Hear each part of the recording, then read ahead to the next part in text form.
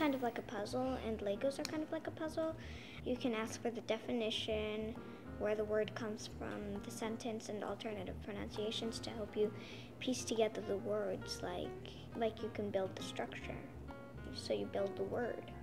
I build the words in my head like I build a Lego piece. I'm Tara Singh. I'm eight years old, and I'm the youngest contestant in the National Bee. She loves symbology, and it's what speaks to her. I know sometimes when we go to museums, we get her hieroglyph books because she loves the symbology of languages. If, if there's anything Tara loves, it's, it's language. And Dewey, A N D O U I L L E. one of my favorite words. Sausage from back home. I'm Dewey. Totipotency. T O T I P O T E N C Y. Excellent. The National Spelling Bee will be her third spelling competition this year. I'm not as surprised as I used to be because it's, it's just so natural for her to learn Latin and Greek and she just started learning German and she's learning Hindi at home. Bye! And so we're not really surprised by anything that she does anymore. This will be my final chance to compete in National Spelling Bee.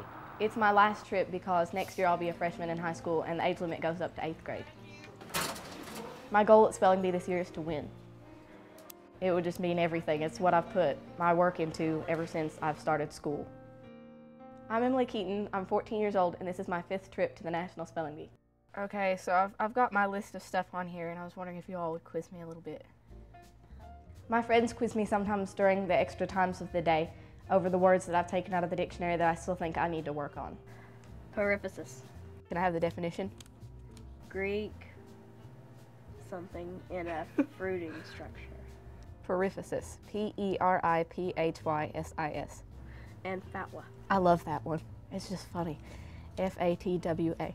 Correct. I don't think that I can express to you how proud I am to have been a part of a student like Emily Keaton. Let me think. Nephron. Nephron. It's an emotional time for me to say goodbye to her. You know, I'll, I'll keep her in my heart and I'll be watching her for many years to come.